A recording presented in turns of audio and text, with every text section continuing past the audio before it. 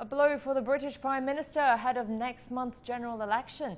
The leader of the Brexit Party says he will allow candidates to run against Boris Johnson's ruling Conservatives across the country unless he abandons his divorce deal with the European Union.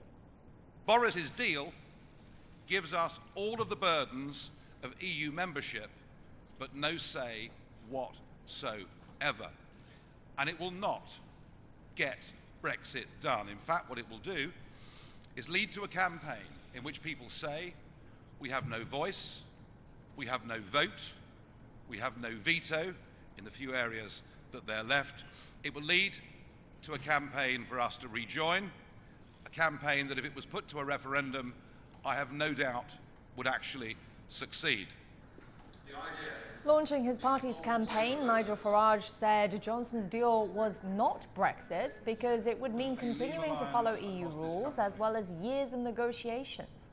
Farage added that if Johnson agreed to abandon his deal, the Brexit Party would form a non-aggression pact with the Conservatives and ultimately be a Brexit alliance. In response, the Conservative Party chairman warned voters that Farage's strategy was putting Brexit at risk and was playing into the hands of left wing Labour.